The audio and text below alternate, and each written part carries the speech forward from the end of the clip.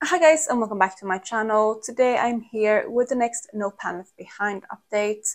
I am working on three palettes every month in this project to use No Pan Left Behind, which means that I want to reach for every single shade in the palette before I can roll it out. And once I've rolled it out, I always replace it and I try to replace all three palettes every month, mainly because I do have a goal this year to use every single one of my palettes um, and every single eyeshadow in my collection, just so I can actually justify having all eyeshadows that I do. So I'm going to go through the three palettes that I've been working on and I'm going to let you know if I replace them and what I'm bringing in if so.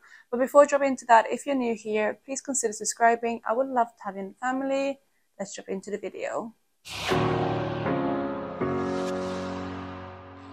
So before I actually cover any of the palettes, I want to let you know that I am working with Ana Luisa on this video.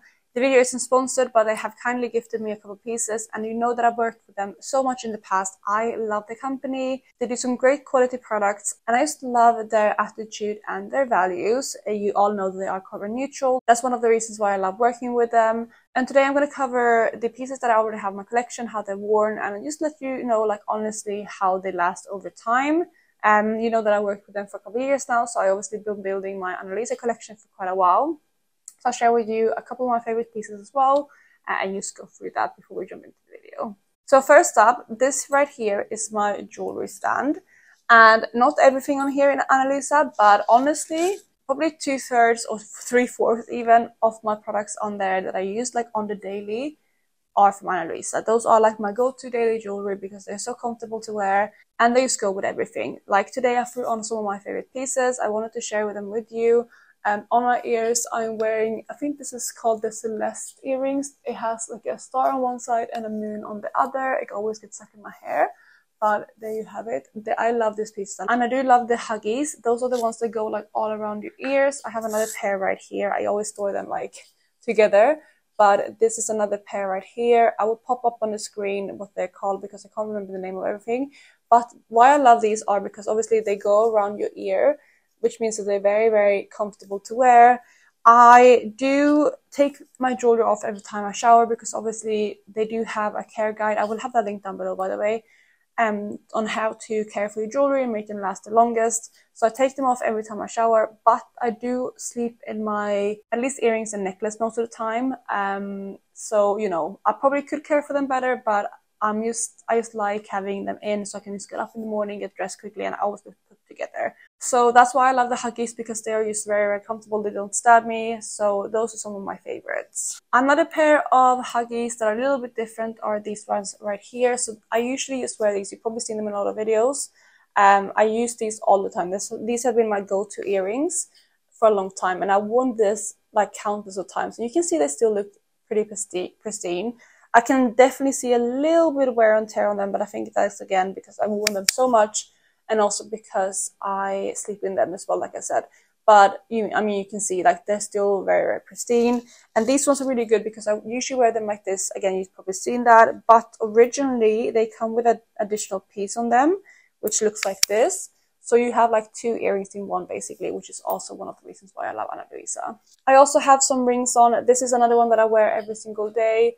Um, I do again take it off when I shower, but I don't always take it off when I wash my hands. Again, that's bad on me, but um, you can still see it looks pretty pristine. It has a little bit wear on it, but I think it's also the shape of the ring. It just scrapes against things. And I think that's something that will happen with any jewelry like that. But also if you do have any issues at all with the jewelry, if like the break, if they tarnish too quickly, even though you're following the care guide, they have a two year warranty. It used to be only one year, but they have recently increased it to two years, which is amazing. So if you do have any issues, they are happy to help you with your jewelry.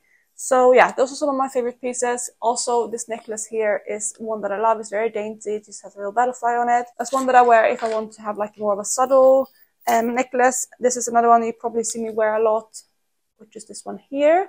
It's just like um heart on a chain. I love this one. And it's actually, again, a double necklace. It also comes with the chain right here, so you can wear them together or separate. Um, so that's another piece that I really love. So make sure to check out Ana Luisa. I will have a link down below as well as a discount code. I will put it on screen as well. Um, so yeah, make sure to check them out. And if you could use my code, I would really, really appreciate it. Again, this is not a sponsored video. It's not affiliated in any way, but it just helps me with future collaborations with Ana Luisa. So if you could do that, I would really appreciate it. And yeah, make sure to check them out. So jumping back into my No Pan Left Behind, I do have these three palettes that I was working on over the past month. We have the Mini Biba from Natasha Denona, the Pat McGrath Bronze Seduction, and the Natasha Denona Sunrise. Let's start with the Natasha Denona Sunrise. So this is a beautiful palette, and I rolled this in because it is quite a summery palette. I love the color story of this one. And I hadn't reached for it in a long time. I haven't reached for it much, honestly, in my collection. Obviously, I've reached for the shades like a couple times each, but not too much. Um, so I wanted to bring this in mainly to get to know it better and fall back in love with it. And I'm happy to say that I have reached every single shade in here, no pan left behind. And I also did really fall back in love with this palette. I really, really do love it. I think the color story is really beautiful. Yes, there are a couple shades that are like repetitive, especially this red here and this red here. I don't think both of them needed to be in this palette, but I think it's a beautiful one. You can create a really, really subtle look with these here. Like if I cover all of the colorful shades on this side. You can see you can have a really subtle look there. You can create some really like deep, um, like sunset, rich sunset looks with the more colorful shades. So you have a lot of variety in this palette and I really, really did enjoy it. But again, I have hit gold on this one as no palette behind, so I'll be rolling it out. Next up, we have the Mini Biba palette, again from Natasha Denona. This one is just a five pan palette, looks like this. Um, I hadn't actually tried this one before. I recently got it from my friend Martina um, but I have now reached for every single shade in here. I love all the shades. Um, I created one look with this palette. That's what I try to do with my mini palettes from Natasha or at least, I don't know, at least with these ones that I feel like are a good, like everyday palette if I want to go traveling. I want to see if I can create a really nice look with it. And I did. I do also feel like I can create like two distinct looks with it. I can use this one in my crease for more of a peachy look or this one for more of a brown look. And then like these two browns they look quite similar in the pan. This one here is one of the cream to powder mattes, which shows up lighter on the eyes. So if you wanted to go for lighter at the corner, I could do that with that shade. Um, obviously, there's just one shimmer in the middle, but it's quite versatile, so I feel like it would work with every look. Uh, and it's also quite a nice shimmer shade. So I did really like this palette. The only thing I would say is that this cream to powder isn't the absolute best. You can probably see that it has a little bit of hard pan on it. I tried to remove it with some tape, but yeah, it's just kind of like a hard panny primitive powder. So that one isn't the absolute best, but overall I did enjoy this palette. And it's a good little handy one to have if you want to like bring it with you as like a simple travel palette or bring to office or something like that. So I'm really happy that I have it in my collection now. And then lastly, we do have my Pat McGrath Bronze Seduction palette, which looks like this. I love this palette. I've had this in my collection for just under a year now, and I play around with it a couple of times, and I really do like it. Um, I feel like again you can create a lot of versatile looks. The mattes in here might look quite deep, but what I really like about the Pat McGrath formula is that they are very very buildable, especially the mattes. You can like blend them out effortlessly. With the mattes in this palette though, um, or with the shadows in this palette, I usually set my eye base. I don't normally set my eye base before I do my makeup but with these, I do because I feel like they blend much better on top of that. I also heard some, for some people that if you have a hard time with the Pat McGrath formula, maybe try some different brushes. I most often use the um, Rephr brushes with this and it works perfectly. Um, and yeah, the shimmers in here, like the special shades, are stunning. I was a bit worried about this red, but honestly, that is such an amazing shade. I love using that one too. And I think overall, I created, was it two looks with this palette? I think that's what I did and I obviously want to reach into this one much much more. And especially like the special shades topping other looks with these shadows would be amazing because I love all of them honestly um, especially like the more free like more sparkly shades. So I was able to hit my goal on all three of those palettes. But before I jump into rolling in some new palettes I want to just cover the other palettes that I used no palette behind in the past month. So first up we have my Natasha Denona Bronze palette. I used that one no pan left behind then I also used my Huda Beauty Indigo Obsession palette, no palette behind, which is my Panda palette now. Um, I used the Natasha Denona Biba palette, which is like the full side Biba. I also used the Sunrise, Bronze Seduction, and Mini Biba in that order as well. And then lastly, the last palette that I used no Palette behind is the Urban Decay Stone Vibes. So those are all the palettes that I used no Palette behind in the past month.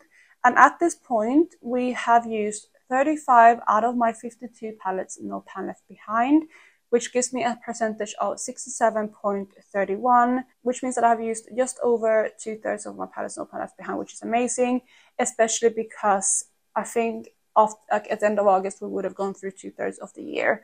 So I am on track with my palettes. I still need to reach for my singles more to be on track fully with like all my eyeshadow usage. But I'm really, really happy that I'm at least on track with my No Pan Left Behind palettes um, to like reach my goal to reach all, all of them before the end of the year. So let's talk about what I'm going to roll in next. And a palette that I want to roll in now, because I think it's the best time of the year to roll this one in, is actually my Natasha Metropolis palette.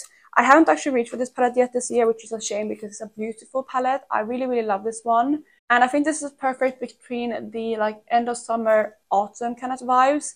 Because you do have like these warm tones, more kind of like golden tones. You also have the greens and it's a beautiful, beautiful palette. But like also the blue would work in a really nice like summer look. So I'm going to roll this one in for No Pan Left Behind. Obviously it has 28 shades, so it's quite a big palette. But I'm still really excited to reach for this one, and I think it's going to be a really, really good palette, like I said. So this is the first one that I'm bringing in. Then to compensate for that big palette, I'm also bringing in another Natasha Denona mini palette. This one is the Mini Gold. It is another beautiful palette. This has a lot of green tones, and I think this one would work honestly on its own, but also with the Metropolis palette. I think I'm going to try to create a look alone with this one though. Again, like I said, with the mini Biba palette, that's something that I want to do with these mini palettes.